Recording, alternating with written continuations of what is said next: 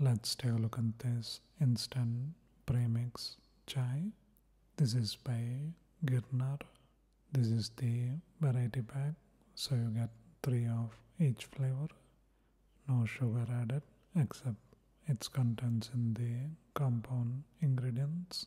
We get cardamom, masala, ginger, and lemongrass flavors.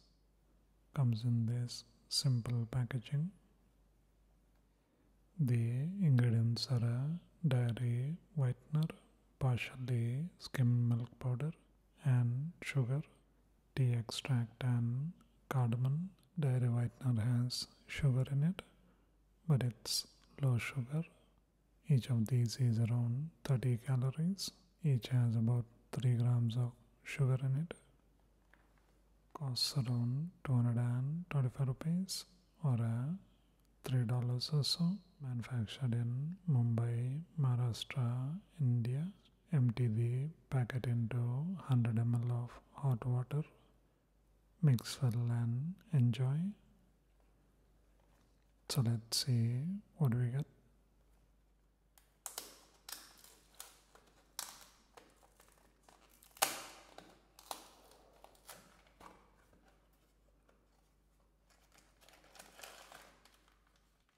Cardamom chai, masala chai, ginger chai, and lemongrass chai. So let's try the lemongrass chai. That's how the tea looks. Let's taste it. That has really low sugar. I'm not sure if I'm tasting any. You get a lot of lemongrass flavor though.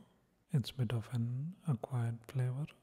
If you don't like the lemongrass though, quite a unique tea and uh, really easy to make. Quite nice.